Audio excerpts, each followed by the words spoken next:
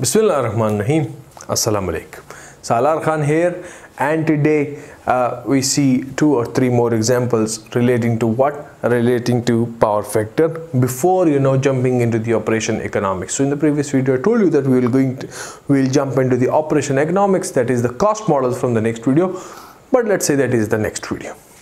So for instance I have a question over here what is that question?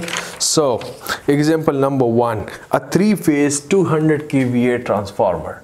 Example what does it states? A three phase 200 kva transformer.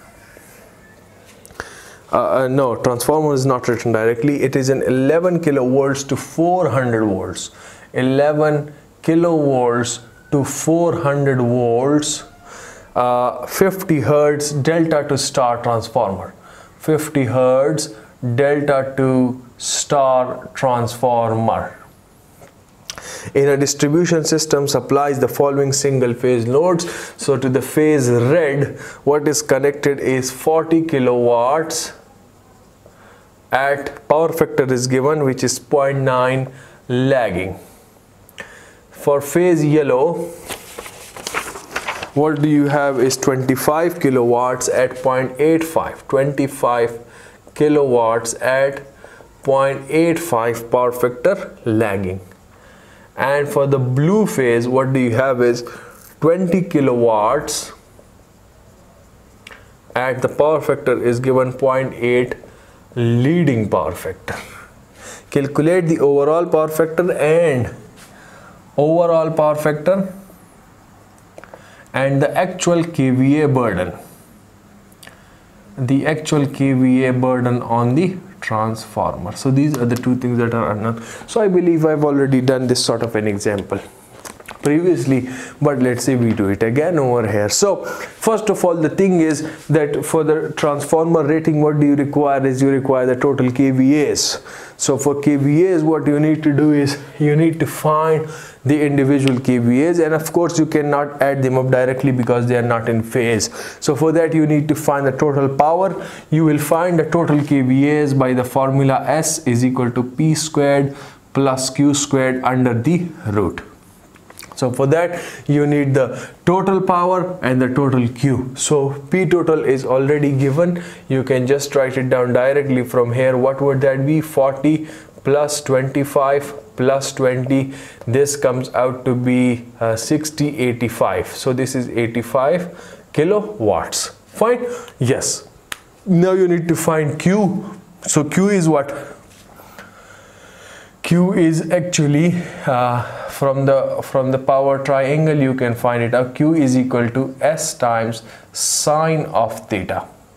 If this is theta this is s this is q this is p. So some uh, uh, people have yes so q is equal to uh, s sine of theta. Yes this is fine. So you, you need to find individual ones so for sr first of all what would be the case? 40 divided by 0.9 this is from the definition of cos or the power factor. Power factor is cos of theta which is p upon s. So s is equal to p by the power factor cos of theta. Right? This is for r similarly s for yellow would be what? It would be 25 divided by 0.85 and then s for blue would be what? It would be 20 divided by 0.8 so let us do the calculations. Uh, 40 uh, 40 divided by 0.9 is what? It's 44.4 and then 25 divided by 0.85 this is 29.41 and 20 divided by 0.8 this is 25 so you've got your KVS now from here you can calculate this. You can calculate your uh, thetas as well. So from here you can calculate your theta. From here you can calculate theta from here what is the theta please? The first one is cos inverse of 0.9 this is 25.8 this is 25.8 then you have what? Cos inverse of 0.85 this is 31.7 this is 31.7 and then you have cos inverse of 0.8 this is 36.8 36.8 fine? Yes. So uh, yes yes. So now you can calculate it. What can you do is uh, you can just take your qr from here. Qr would be what? This would be uh, s times which is 44.4 times sine of what? 25.8 this over here the yellow phase would be what? 29.41 sine of 31.7 for this one qb would be what? 25 multiply sine of 36.8 let us do the calculations together. Sine of 25.8 is 0.43 multiply 44.44 this is 19.34 19.34 then you have what? Sine of 31.7 this is 0.52 multiplied 29.41 and this is 15.45 15.45 and then similarly over here sine of 36.8 this is 0.59 and multiplied by 25 this is 14.97 now what do you have is you have to go for lagging or leading as well with this. So have a look. This one is lagging so this would be lagging. This one is lagging this would be lagging and this one is leading so this would be leading. With leading you would have a negative j right? Yes. So with leading you have a negative j if you want it in this way. With lagging you have a positive j. Lagging you have a positive j so you've got your overall uh, P, you need your overall Q. So what would that be? Q total, that would be what? Uh, plus 19.34 plus 15.45 minus 14.97 and this comes out to be what 19.34 plus Uh, 15.45 minus 14.97 this comes out to be 19.82 19.82 have a look. This is overall positive. This is overall positive. So you would say that this is overall with a plus j or this is overall lagging or this is overall inductive. Fine? Yes whatever you want it to be. So s the S total or the kVA of the transformer or the rating or the actual apparent power in the circuit is what? This is 85 squared plus 19.82 squared under the root which comes out to be 80.27 80.27 right? Yes. Now what do you have is uh, 80.27 so what do you have is uh, you can also have the power factor angle from here. Power factor angle q divided by p. Q divided by p tangent. Tangent is what? Q divided by p. Uh, tangent of theta is what? You have got your total q you've got your total p right? So through proper brushing it is q divided by p right? Yes. So the overall power factor angle overall power factor angle would be what? This would be phi is equal to tangent inverse of and q is what? Q total is 19.82 and the p total is what? It is 85 so have a look. What does this come out to be? Tangent inverse of 19.82 divided by 85 and this angle comes out to be 13.12 13.12 which means the overall power factor is what? Is the cos of 13.12 and which is what? Cos of 13.12 and this is 0.97 so have a look. It is a very good power factor.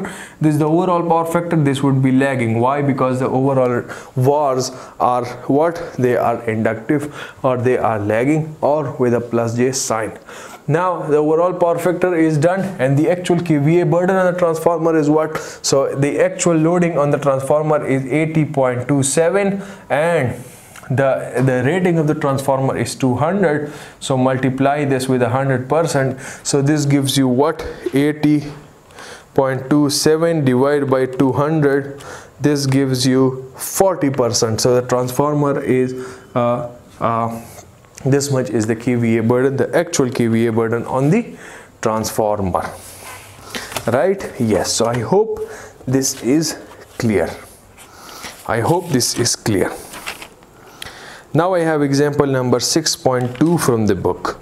Example number 6.2 from the book. Let's say what does it states? A single phase motor connected to 400 volts. This is a single phase motor. It is connected to 400 volts. Uh, 50 hertz supply and this takes a current of 31.7 amperes so the motor current is 31.7 amperes at a power factor of 0.7 lagging power factor is 0.7 lagging calculate the capacitance required in parallel with the motor to raise. So the capacitance is unknown that would be connected in parallel to raise the power factor power factor 2 to 0.9 lag. right? Yes. So the circuit and the phasor diagram. So you can draw the circuit and the phasor diagram. So let's say if this is the circuit you know this is the motor. This is the motor. The current is flowing is im right yes. It is connected across a voltage which is given is 400 volts a 50 hertz supply right? And then you do what? Then you install a capacitor in parallel with this. So this capacitance is basically the unknown quantity over here. So what do you have? Let's say the capacitor current is named IC and the total current is the summation of the two is named I right? So what do you have? The phasor diagram if you draw from here is so this is your voltage reference. This is your voltage reference? Yes. This one is your motor current let's say. This one is your motor current im at the first angle that is theta 1 so from here you have theta 1 right? This is cos of theta 1 so this would be cos inverse of this right? Yes. Then you install a capacitor which takes a leading current ic so you can just place it over here ic and then the the the, the second is this one is i which is now at phi 2 which is also given. You can calculate your phi 2 from here is cos inverse of 0.9 right? Yes. So they have i believe they have written it over here or if they have not uh, so let us just let us just see what happens is. So the active component of im so the motor component first of all if you talk about the active components or the wattful components are the same basically. So if you talk about the active component talk about the active component. So im cos of theta 1 I am with cos of theta 1 right? Or I am with cos of theta m the first one. The first one right? Yes. So this would be what?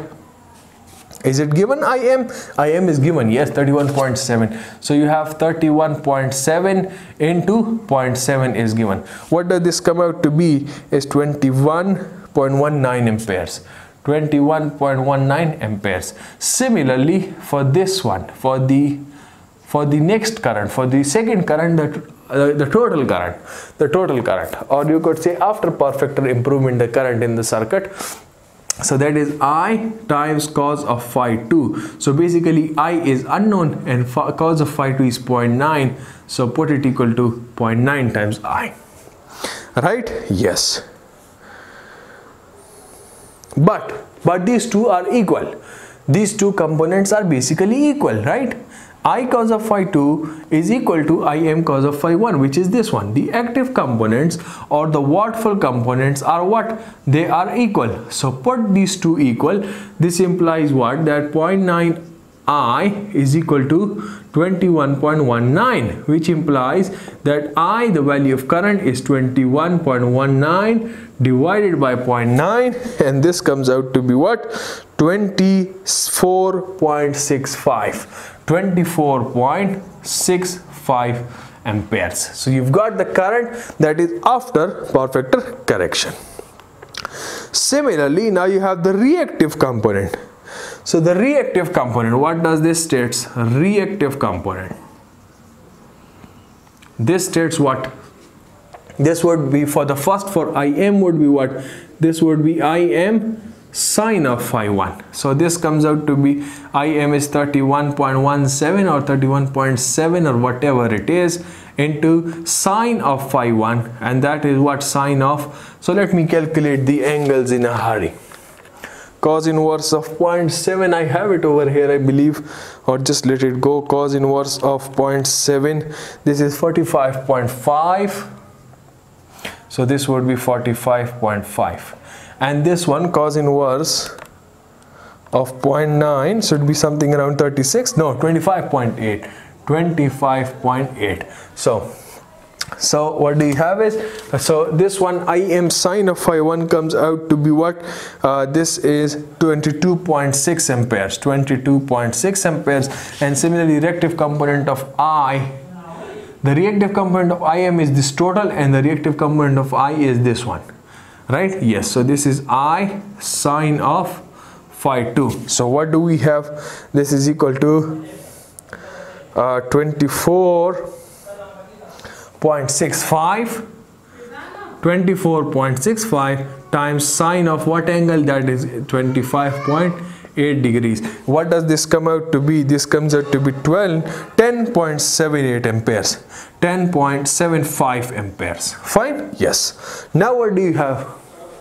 What do you have? So you found out the active component of both. You found out the reactive component of both. Right? Yes. Now what do you have is ic is what? Ic is this thing this is basically the active and uh, uh, uh, this is basically p and v uh, p and q you have calculated right? Yes. So you can see from here is that the reactive component of i this uh, this one ic ic is equal to the total reactive component this one which is q1 q1 or the reactive component of reactive component of im this is what reactive of Im minus minus this one which is Q QM or, or you could say after power factor correction or Q2 let's say. So this is the reactive component of I right? Yes. So reactive component of IM which is 22.6 minus 10.75 this comes out to be what? 11.85 amperes is the current that is being drawn by this capacitor. By this uh, yes capacitor. Now what do you have? Ic is equal to v upon xc right? Ic is what? Ic is v upon xc you know. Ic is v upon xc v 2 pi f C from here can you not calculate C? You can. You have got your uh, IC from here. You've got V which is given is 400 volts. V is given is 400 volts. F is 50 calculate the value of C from here is 94.3 microfarads. 94.3 microfarads. Next what have they written is uh, well you can read it out for yourself Example 6.5, I've already solved this sort of an example. I've already solved this sort of an example in the previous videos. Just check it out by yourself. Do the practice, I will just write the data. 3 phase 50 Hertz 400 motor. 3 phase 50 Hertz 400 volts motor develops 100 horsepower. So 100 horsepower this is when a horsepower comes this is your output right? The power factor being 0.75 lagging. So cos of phi 1 is 0.75 lagging. Efficiency is given is 93 percent. A bank of capacitors is connected in delta across the supply terminals and the power factor is raised capacitors in delta is connected and the power factor is raised. So cos of phi 2 is what? Uh, it is 0.95 lagging. 0.95 lagging. Each of the capacitance unit is built of four similar 400 volt capacitors. Four similar 100 volts capacitors. Right? Determine the capacitance of each capacitor. So the capacitance is unknown so what can you do is first of all you've got the formula. You've got the formula that qc is p times tangent of phi 1 minus tangent of phi 2 so from here you can find out phi 1 and phi 2 from here tangent of phi 1 tangent of phi 2 now for p what you need to do is so basically p is equal to p output divided by eta and p output would be what so you have to convert this horsepower to kilowatts multiplied by 0.743 or what is the ever is the case do this that way so from here you will get your qc in kVARs QC in kVARs, right? Yes. Then what would be the case? That would be three phase, right? That would be three phase. Then divide it by three for single phase values. So you will get that. And then you find out the capacitor current. You can find out the capacitor current and then you can find out XC you can find out IC IC which is V upon XC V upon XC isn't it like this or uh, QC is V times IC. So from here you find out the capacitor current, then you put it over there to find out XC and then from XC is equal to 1 over 2 pi FC you can find out your C. So I've already done this sort of an example in the previous video. I will not do it again over here. I will finish this video right over here i will see you in the next one very soon inshallah till then take care of yourselves everyone around you do remember me in your prayers do subscribe to the channel goodbye